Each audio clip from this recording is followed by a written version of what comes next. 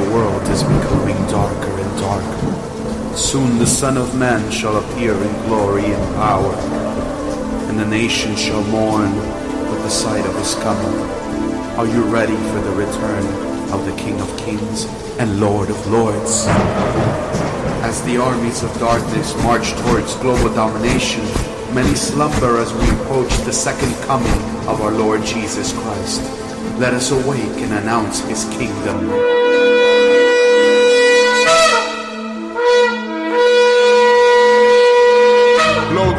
Trumpet in Zion, sound an alarm on my holy mountain. Let all the inhabitants of the land tremble, for the day of the Lord is coming. It is near.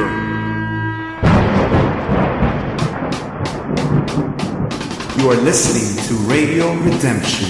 and power and power power For the kingdom of God is not in word, but in power. 1 Corinthians 4.20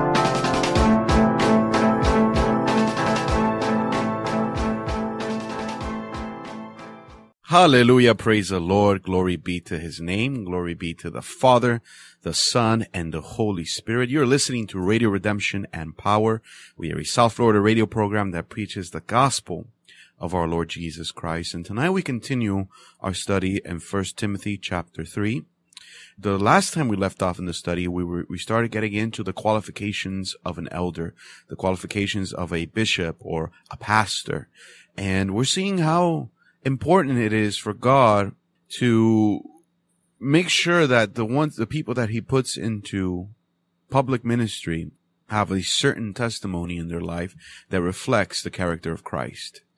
And uh, we thank you for joining us tonight. And tonight we're going to continue uh, on verse four, where we left off last week, and we hope that this will be a fruitful study to you. If you're a person that's looking, that has a heart, uh, a desire in your heart to serve the Lord uh, in the ministry, or if you're a Christian that wants to see what is the high calling of God, because one of the things that we see is that the character that is supposed to uh, be possessed by a leader in the church is one in the likeness of Jesus Christ. He is the upward call for every Christian, and we are to follow his example. And the traits that we're seeing here in the book of First Timothy chapter three is Christ-like character.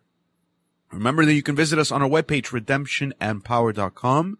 We also have available now our Android app for Radio Redemption and Power. Just go into the Google Play Store and look for RRAP, Radio Redemption and Power. You can have that app now on your phone, as well as if you have an iPhone, you can get the iPhone app at the at the App Store uh, for your convenience. You can also write to us at redemptionandpower at gmail.com or find us on Facebook or Twitter or at 305 320 7727. That's 305 320 RRAP.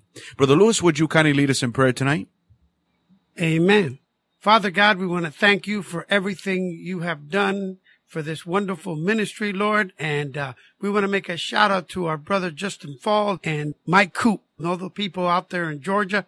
Last week we went out there and we fellowship with them and we uh many things happened uh friends uh, people were touched delivered. I myself came here motivated and uh, wonderful things to be united with the brothers. Lord, we pray for all these wonderful people, Lord, that uh, are connected to your ministry, Lord. And we pray that you tonight may minister to your people your wonderful word. In Jesus' name we pray. Amen. Amen. Once again, you're listening to Radio Redemption and Power.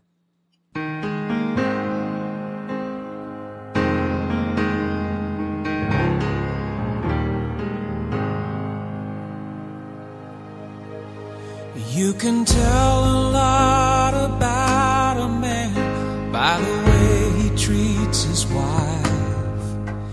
Does he make his home a haven or is it filled with fear and strife? Way down deep inside of her is the story of his life. You can tell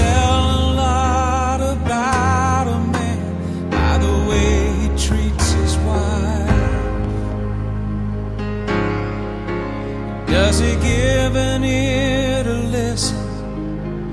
Does he try to see your side? Will he give a strong security and arms where she can cry? You see, the times we feel like giving up or holding on to pride are the times that God is sacrifice our lives. You can tell a lot about a man by the way he treats his wife. Does he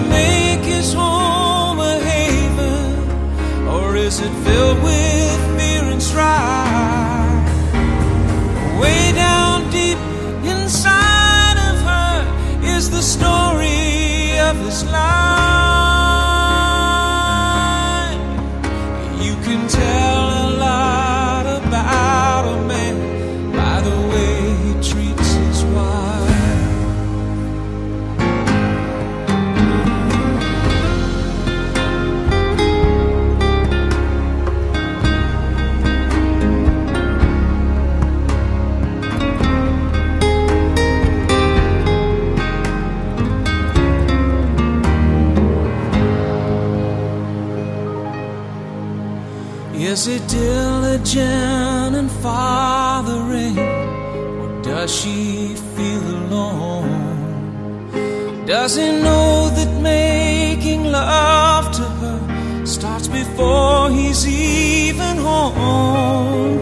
So he calls and speaks his love to her and listens on the phone. Cause the power of his is found in God alone. Mhm. You can tell a lot about a man by the way he treats his wife. Does he make his home a haven, or is it filled with fear and strife?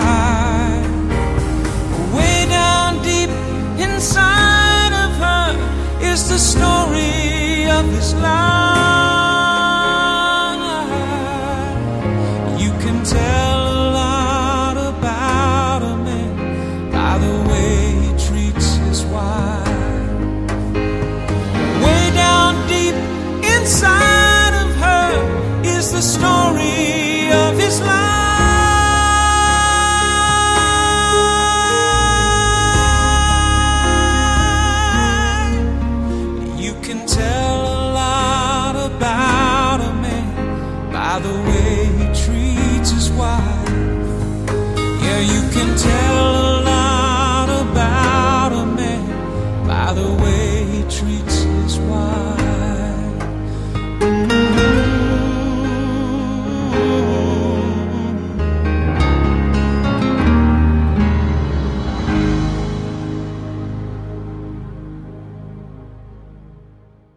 Praise the Lord. Glory be to his name. Hallelujah.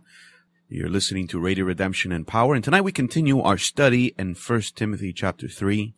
Uh, we started out uh, looking at what are the qualifications of a leader in the church of Jesus Christ because it is his church. And that's something that's very important. When he talks to Peter and he, he tells him, on this rock I will build my church. It is his church. It is his body and he sets the rules.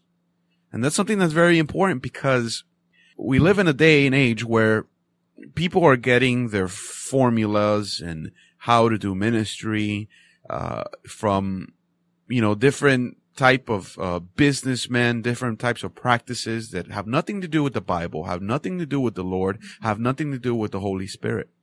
And one of the wonderful things we see is how the Holy Spirit is able to bring order out of chaos.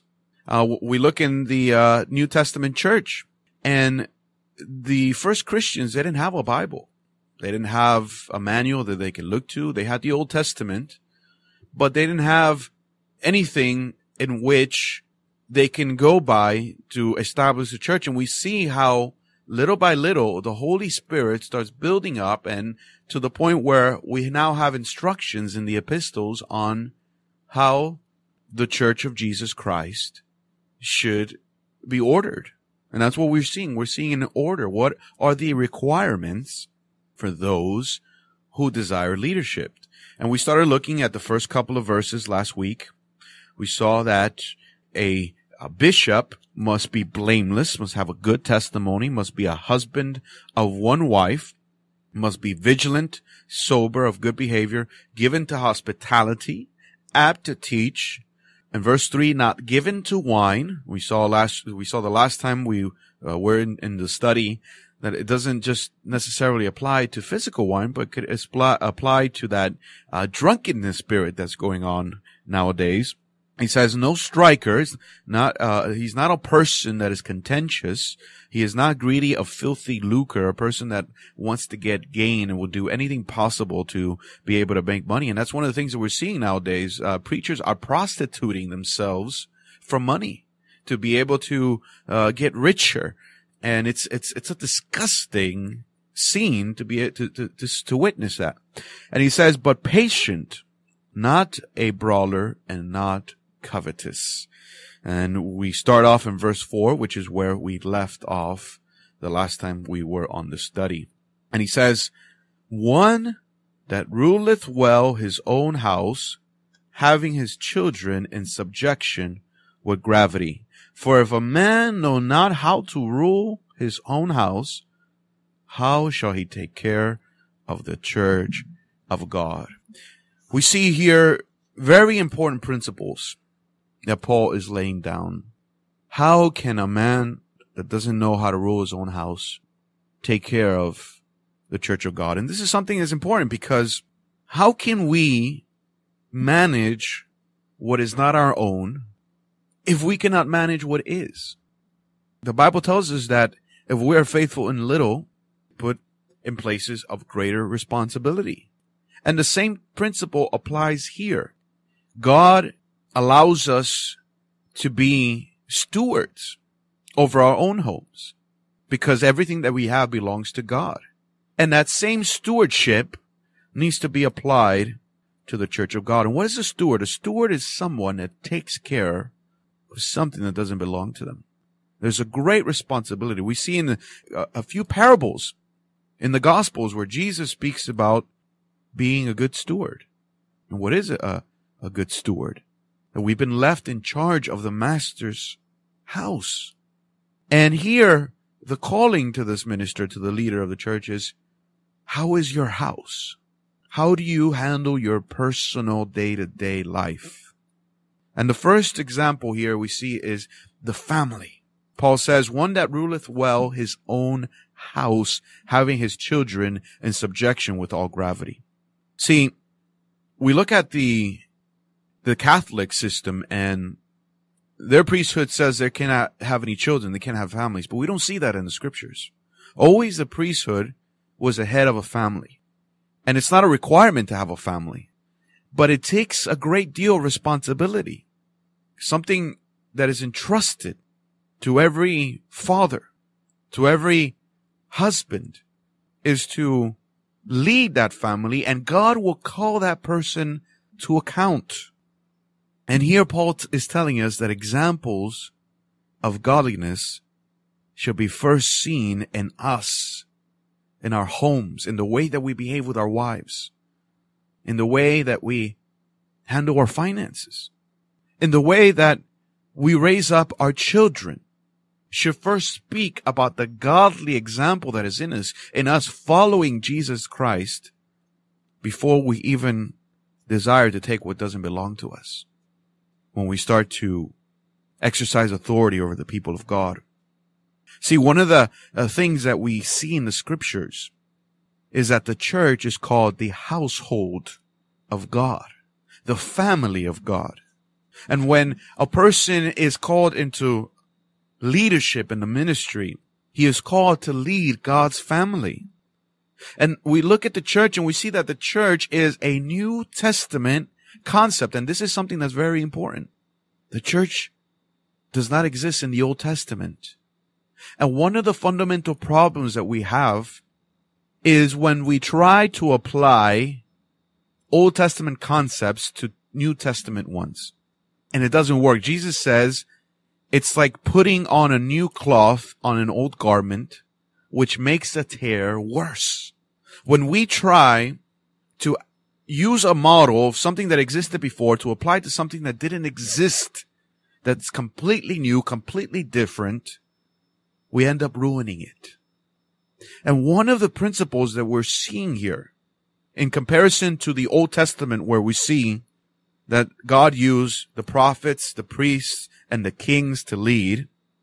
And, and, and even though we can glean practical lessons from what they did, but we don't see too much family involvement. For example, we look at the priest Eli in the book of First Samuel, and we see that his sons were corrupt. His sons were not faithful to God. They were committing wicked acts. They were taking advantage of the position that God had given them. As opposed to serving the people, they wanted the people to serve them. They, they, they were exactly like these phony preachers that we see today. We look at the prophet Samuel. Excellent prophet who was obedient to the Lord. Yet his sons were also corrupt. His sons did not follow his example. His sons were not, were not godly children. We don't see that family connection. We look at David. David was, the Bible says, a man after God's own heart. He was a man that loved the Lord. He was a man that um, was faithful to God. Even with his failings, he, he, he wholeheartedly wanted to follow the Lord and obey him in all things. And yet we look at his son Solomon, who obviously had some kind of sexual issue with the amount of women that he had. And he eventually became apostate because his heart was drawn away from God. How is it that these godly men, their children end up in opposition towards God. And it's because it was a totally different model. God dealt with the individual. He dealt as a covenant. But when we look at the New Testament, the very first thing we see is that God is, reveals himself as the Father. And he sent the Son, Jesus Christ, to reveal the Father. When Jesus teaches us to pray, the very first thing he says, Heavenly Father, hallowed be thy name. Our Father. If you read in, in the book of Psalms, an Old Testament book, it has 150 chapters. Written, most of them written by David, who loved the Lord with all his heart. And there is not one direct address to God as Father. God reveals himself as a father. And that's the revelation that we receive from Christ. When we read the epistles, the letters from the apostles, they address the churches as fathers. We look at the letters of John, and many times he addresses us as little children. He says, little children. This term of endearment. He God is dealing with his people, with his church as a father, as a loving father who lovingly disciplines his children if he has to. And this is something very important because if we have an Old Testament mentality and try to apply that to the organizing and the leading in the church of Christ, it's not going to work. I don't have any children yet. But I can learn from Jesus, from the apostles, and from my own father, and from those in my life that also have children. And what I've seen is that a father is someone that gives himself for others without expecting anything in return, without expecting a favor in return. And this is something that's important. We see this attitude in Paul when he's addressing in Timothy. He says, my son in the faith. We see his letters to the churches and how he nurtures them. And it doesn't necessarily mean that you have to be married and have a family. But if you do, it should be evident there. It should be evident in our marriages that we lead our wives, that we shepherd our wives gently.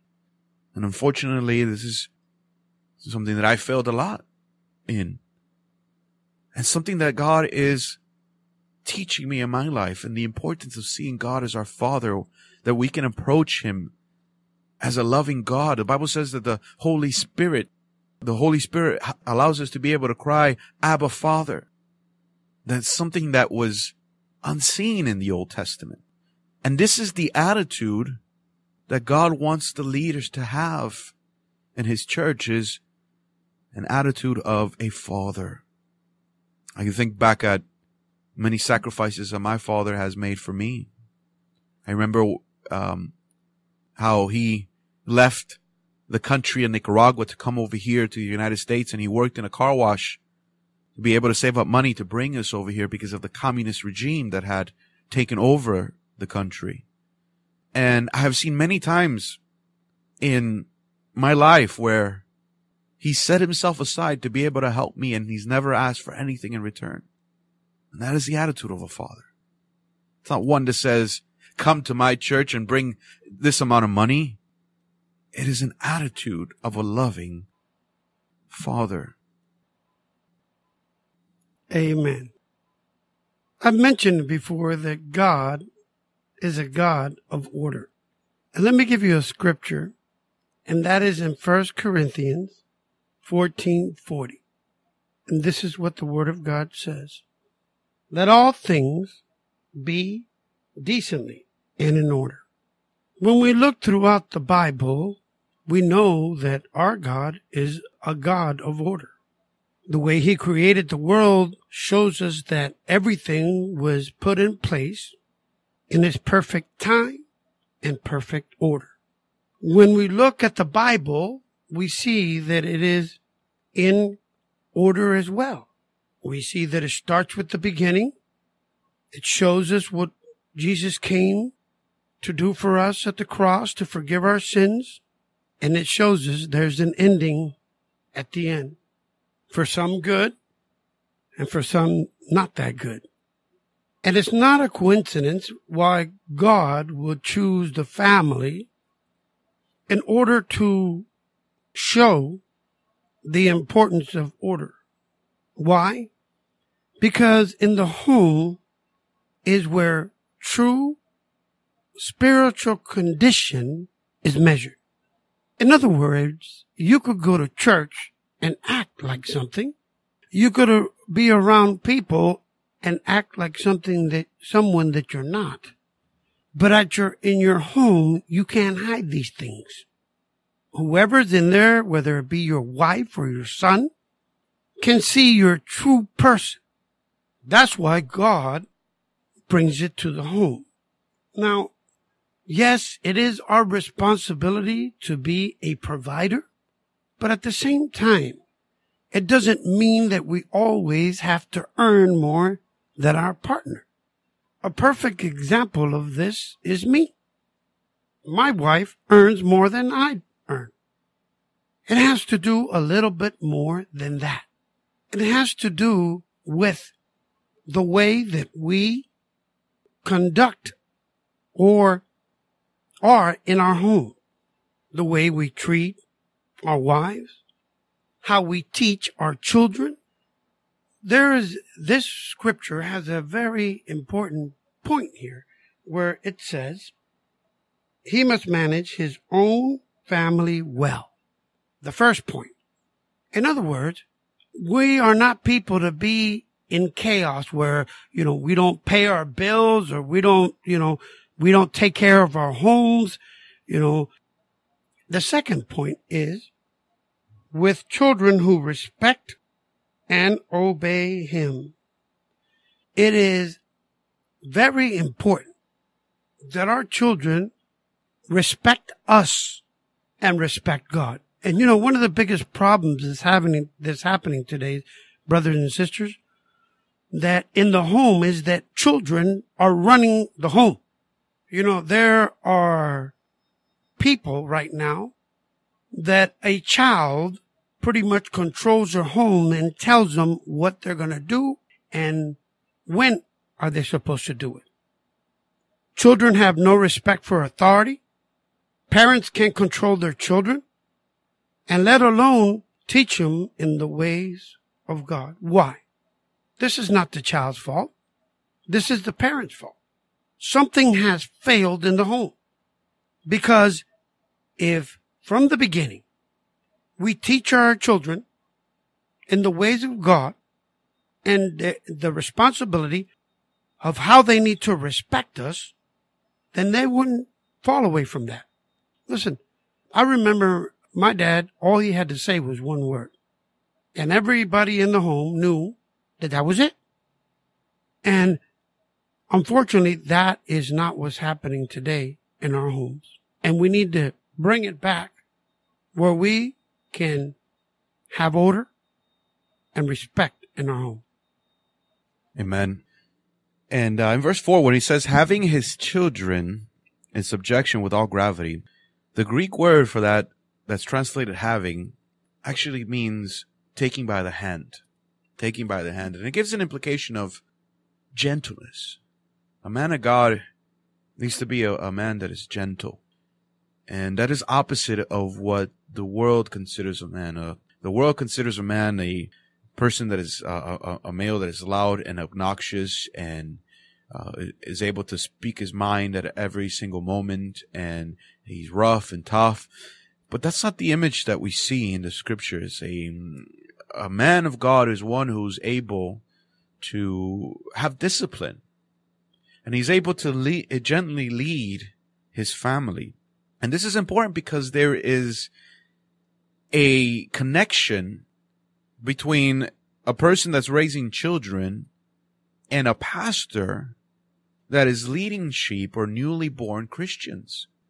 A person that has been born again, the Bible calls them uh, babes, babies in Christ. And a person that has been born again, that is, is a recently converted, requires a lot of attention, requires more uh, you need to be more on top of them to teach them and to uh, burp them and to, you know, help them to walk when they fall. And it requires a lot of patience. And if a person loses patience with their own children, how are they not going to lose their patience with somebody that's not in their family? And even though they're the, the family of God, and we see that there's a certain aspect as to how God uses the home to bring about sanctification. And again, it doesn't necessarily mean that you have to be married. Paul wasn't married. He didn't have a family, but yet he had the love of Christ. He was looking at Christ and he was seeing at the love and the compassion of who he was. And his desire was to, for Christ to be seen in him. And this should be the desire of every man because then it doesn't matter what our circumstances are. We are looking and following and desiring to be like Christ because that is the ultimate goal. Only then will be, we'll be able to minister in a way that is appropriate, in a way that God is pleased because we are allowing Christ to minister through us. And we have that ability to be able to do that in our homes. And it doesn't just apply to a person that governs their own house. But one of the things that we see in the scriptures is that we are called the temple of the Holy Spirit. Our bodies belong to God. And God allows us to use our bodies and we can either use them for the glory of God or we can give up our members to uncleanness like Paul says in the book of Romans. We have the ability to honor God with our bodies and we have stewardship over our bodies. And how can we govern God's house well if we do not have self-control in our lives? If we do not have self-control over our money, one of the things that God is operating in my life and is bringing a lot of conviction is credit card use. Irresponsible credit card use. How can I be a minister of, of God's people and any finances in the ministry of God if I'm allowing credit card debt to get out of control in my life? This is something that God has been hammering really hard into my heart. And it's true. How can we manage somebody else's money if we're not managing our own correctly. Our bodies and our, belong to God. Everything that we own, God has loaned it to us. And we see an example of what happens. Jesus Christ, when he speaks about the, the, the different talents, the Bible says he gives one, uh, there's one that gets five talents, another one gets uh, two, and, and one gets one. And the one that gets a five and the other one gets two, they, they both multiply it. And the other one goes and hides it in the dust, in the dirt. And God was expecting for there to be a return on, on those resources that were given to that steward. And the same thing applies to our personal lives. Not just our finances, but also the way that we have self-control over the way we speak. If we do not have control over our mouths, how can we ask God to use us to preach? If we cannot have dominion and control over our thought life, how can we seek to help others? And this is what Paul is saying. Show the example first in your life before you desire for it to be in a position of leadership. And this is very deep because unfortunately we've become very lax when it comes to the requirements that are to be seen in someone that is to lead. We look more at talent and ability. But that's not what God is concerned about.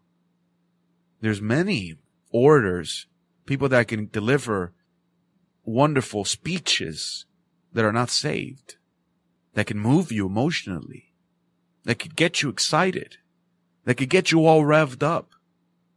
But that's not what God is looking for. God is looking for truth in the inward parts and in the intimacy and the things that are mundane. Is Christ there?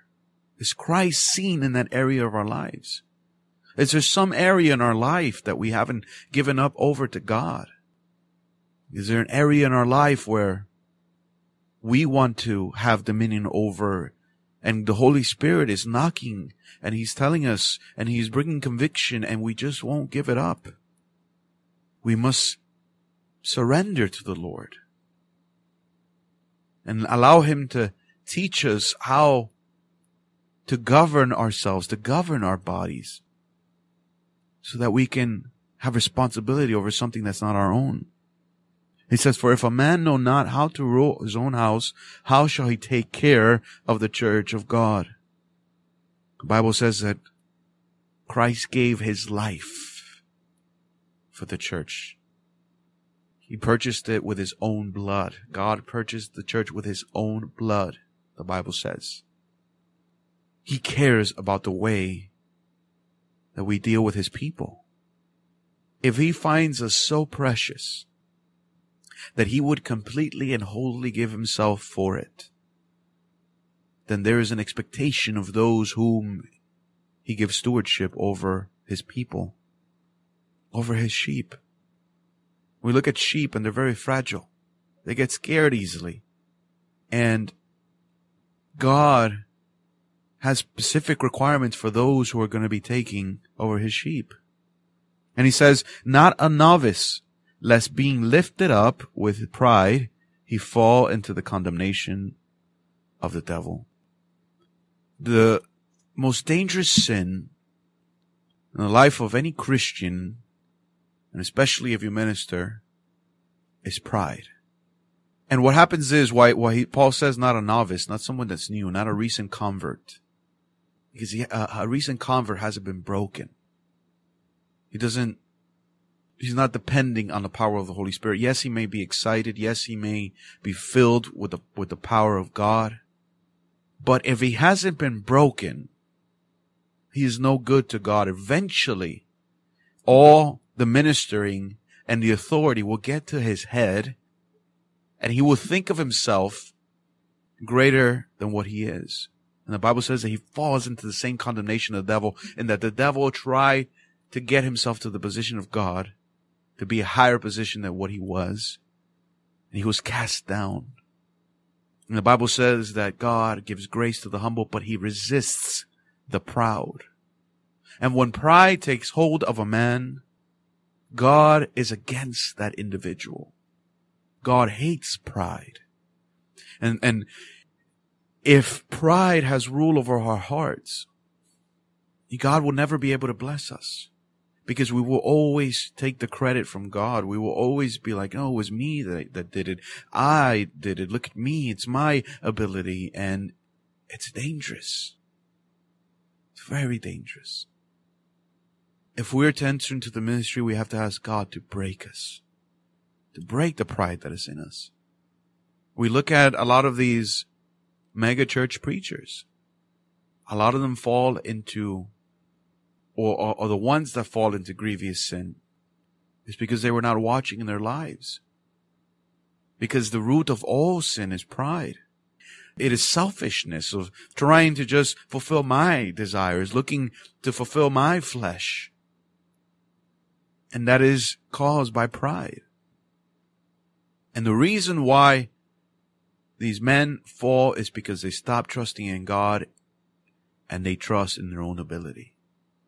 Pride is our, is the most destructive sin in the life of any Christian. Amen. Brother Javer just mentioned that an elder must not be a new Christian. Let me just explain something to you, uh, brothers and sisters. A grown man is not like a child. Children do whatever they want, play games, and when they finish doing whatever they're doing, they'll just walk away and leave a leader has to be somebody that has been put through the fire and could withstand the fire and strive to get to the end. But these things come through a process. And that process is the training time that we spend with God, that we walk through the deserts until we achieve mature hood. Now, let me give you a perfect example of what I'm talking about. Many years ago, I started going to a church and uh, I was invited to a group prayer service. And I went a second time and I went a third time and, uh, you know, it's kind of nice. And then all of a sudden, one day he said, hey, you want to become a member of a church? And I said, yeah. So in the middle of the week, I get a call from one of the mentors of the church.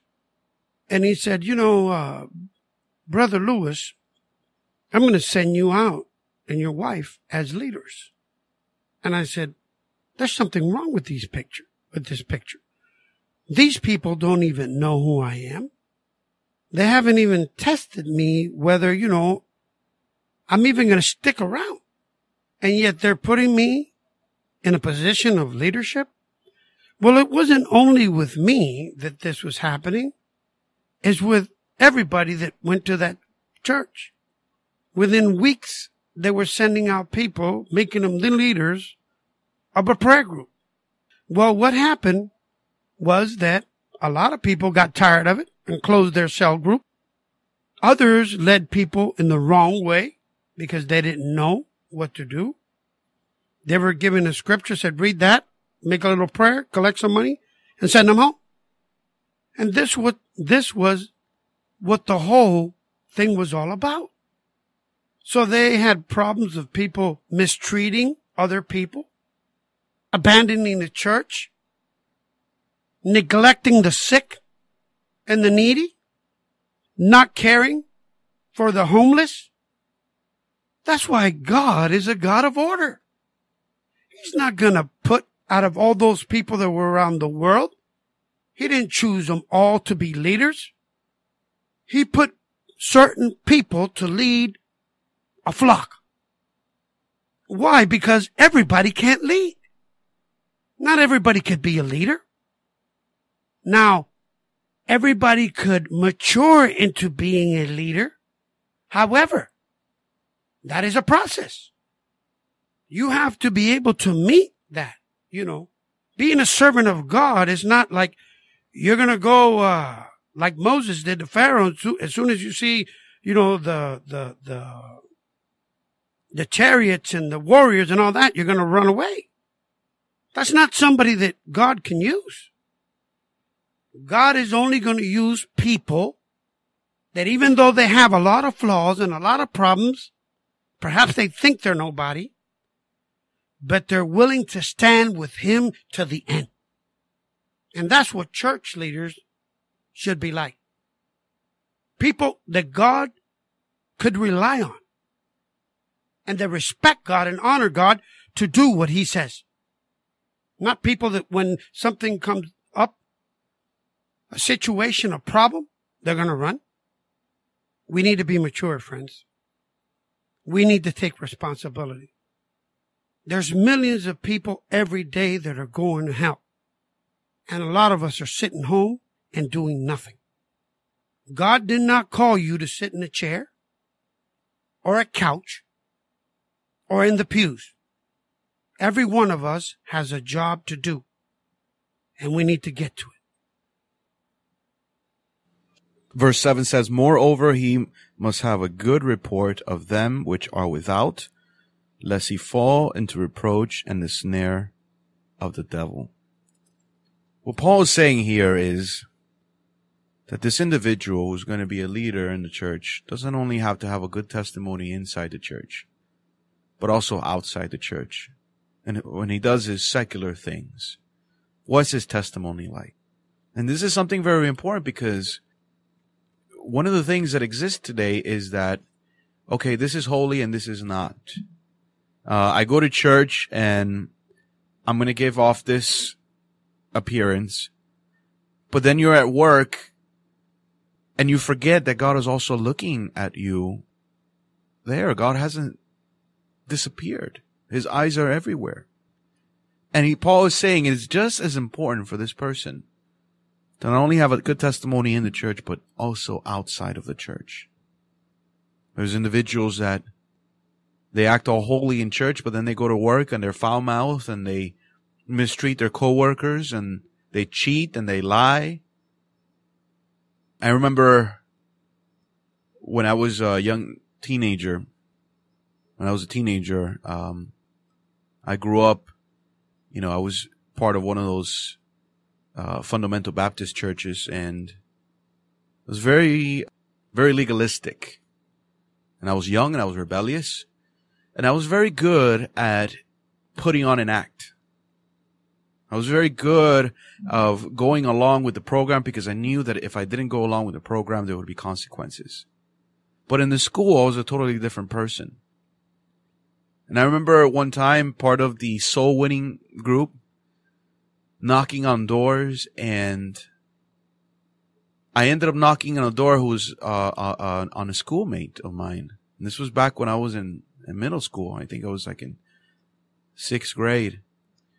And I remember feeling so embarrassed that I didn't have the ability to really be able to tell that person anything because that person had seen me while I was at school. I was being a total hypocrite. That I didn't act any in any way like a, a Christian. And that's what I was. I was a hypocrite for a very large portion of my life. I don't believe I was even saved. But I remember being so embarrassed when I saw that schoolmate, when I saw that fellow student, because I knew that I have never given any testimony. And that's the same thing uh, Paul's speaking about here, because if our testimony outside is a bad one, because of evil practices, we will never have an authority to be able to speak and preach to the lost. Because we're, we're going to be hypocrites. And this is the snare of the devil that makes us think that we can act one way here and act another way somewhere else. And whenever we're in hypocrisy, the devil has something in us. There's a trap there that he uses us, that he uses against us to discredit us and to strip us of any authority because we only walk in authority when we're walking in holiness. And because we are the temple of the Holy Spirit. Wherever we walk, whatever we do is holy when we're working, It is holy unto the Lord because the Holy Spirit is in us. When we're having leisure time with our families, that is holy because the Holy Spirit is in us. And when we fail to understand that and we become hypocrites, we'll never have power and authority to be able to speak in the lives of others and we'll also embarrass the church that we go to. Oh, these Christians are all the same. Hypocrites. And that's why it's so important.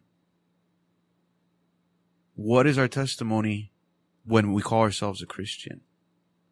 I'm not, there's obviously there's people that were converted and they had a bad lifestyle and they did bad things and after they're converted, some people still remember that. But that's not what he's speaking about here. Paul was a individual who murdered Christians. Yet that became part of his testimony when he was changed and transformed. He didn't continue doing it. And that's the point. If we've been saved and transformed, we should have a desire to walk in holiness, to follow after Christ. And there's should be changes that should be happening in our lives through the power of the Holy Spirit. When we live lives as hypocrites, we fall into the snare of the devil, into the trap of the devil where we become powerless to be able to proclaim the gospel. Amen. What do people say about you? When you put that into thought, that is very deep because if you were to ask somebody, and that's including your family members, your father, mother, sister, brother, your wife, if you have one, or your friends, or the people that you work with, what would they say that you were like? Would they say that you are somebody who represents Christ correctly? Or would they call you a hypocrite, like Brother Javer just said? You know, I was talking to a buddy of mine. His name is Mike Coop.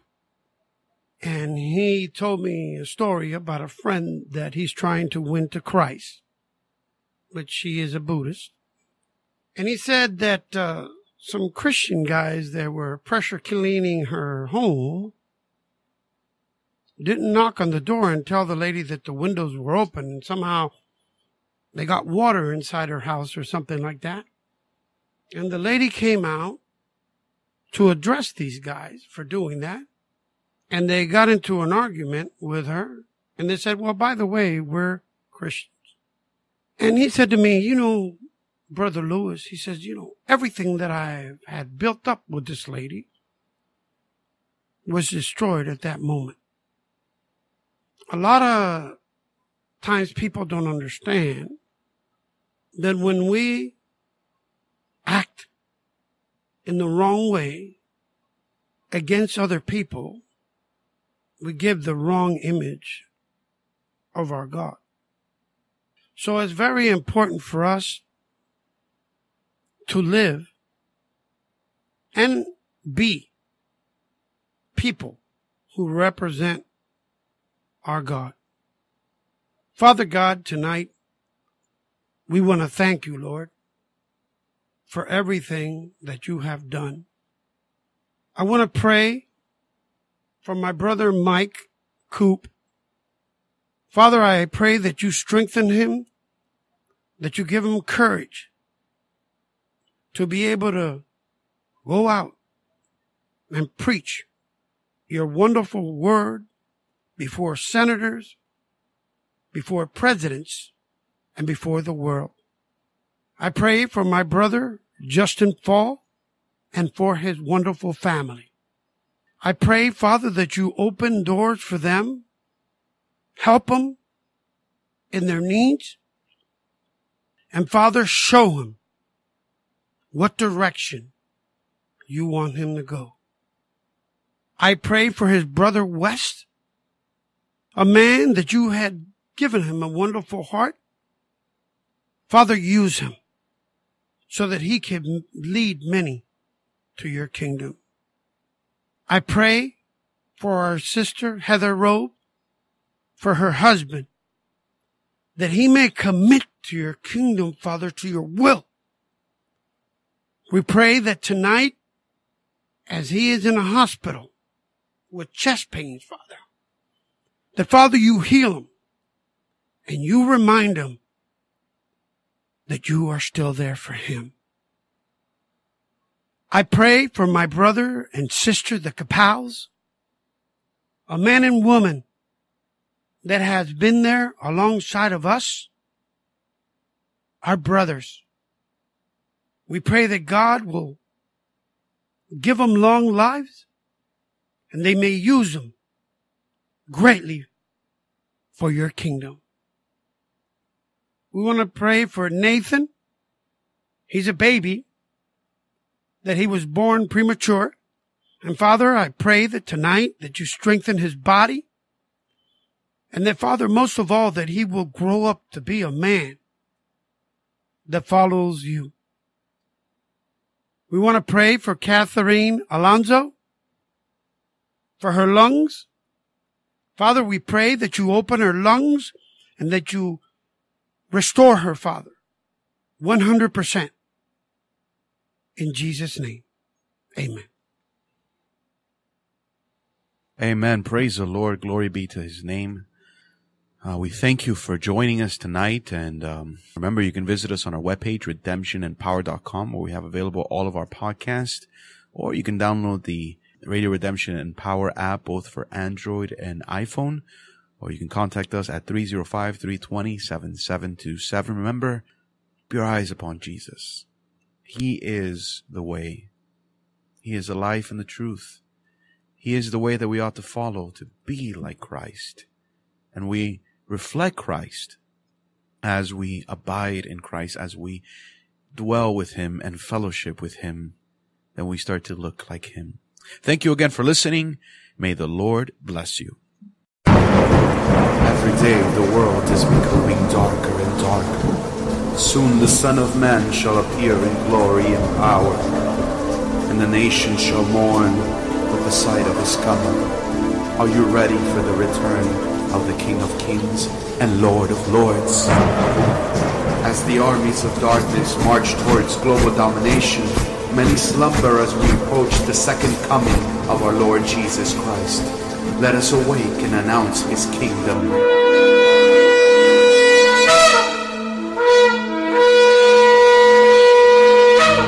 Trumpet in Zion, sound an alarm on my holy mountain. Let all the inhabitants of the land tremble, for the day of the Lord is coming. It is near.